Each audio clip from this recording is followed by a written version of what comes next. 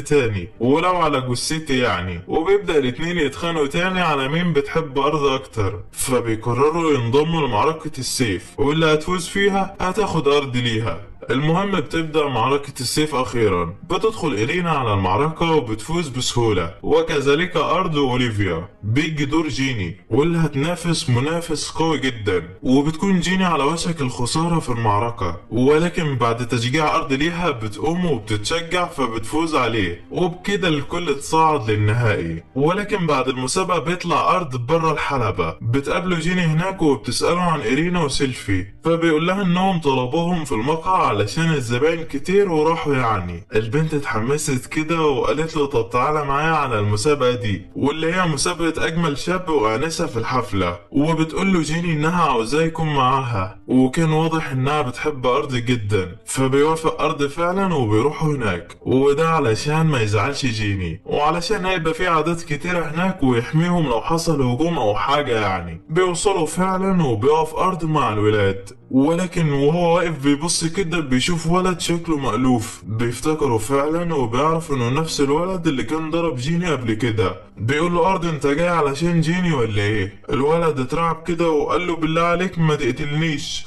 أرض بيبص له كده وبيستغرب من زيادة وزنه. الولد بيقول لارض أنا جاي هنا علشان أشجع ليلى مش أكتر. واللي هي البنت اللي كانت على المسرح وقتها. بيقول له أرض طب إيه اللي عمل فيك كده؟ الولد بيقول له بعد هزيمتك ليه شعرت بالإحباط؟ وما عملتش حاجة غير الأكل يعني. فأرض قال له تمام تمام. وكانت جيني وقتها طلعت على المسرح. وباين عليها الثقة والناس كلها بتهتف لها. بيبص لها الولد كده وبيقول هي باين عليها الثقة بعد ما عرفتك أنا كنت مجرد عائق عليها مش أكتر. أنا عاوز أروح أعتذر لها ولكن ما عنديش الشجاعة لسه. بعدها بيقول أنا ما يصحش أفضل واقف أكتر من كده وبعدين بيمشي. والواضح إن حالته النفسية بقت متدمرة جدا. المهم بيفوز أرض وجيني بمسابقة أجمل اتنين في الحفل. بيرجعوا على المقهى وبتزعل إيرينا من اللي حصل. كالعادة وبعدها بيبدأ النهائيات. بتواجه أوليفيا أرض وبيهجم الاتنين على بعض وسط قوة جبارة. أرض بيعمل حاجز علشان يفادي ضربات أوليفيا ولكن في الآخر بيطيرها.